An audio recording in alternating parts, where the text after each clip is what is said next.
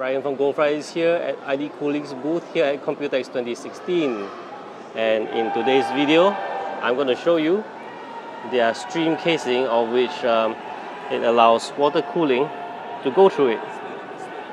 And somehow it routes around everywhere. So this model here is called Stream 1 and they have a few other models. For example here this is Stream 2 of a somewhat triangular shape.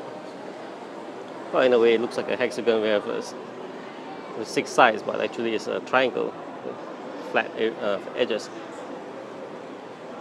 Okay, now for the next other models we have, this is the Stream 4. Stream 4 looks more like a cabinet or some rack that you put outside your house to house pots. Uh, not exactly the most flattering of design. Then we have at the other edge the other end of the booth is the stream 3. as you can see here it is in blue accent. Again this model looks a bit like something you put your books on. In my opinion I think of what ID Cooling has here stream 3 and stream 4 here. No they are not to my liking.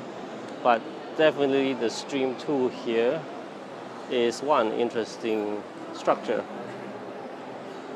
And second of course would be the stream 1 here. That's a more of a traditional setup but hey, it looks cool. Okay that's it for this uh, video here at ID Cooling's booth. Thank you for watching.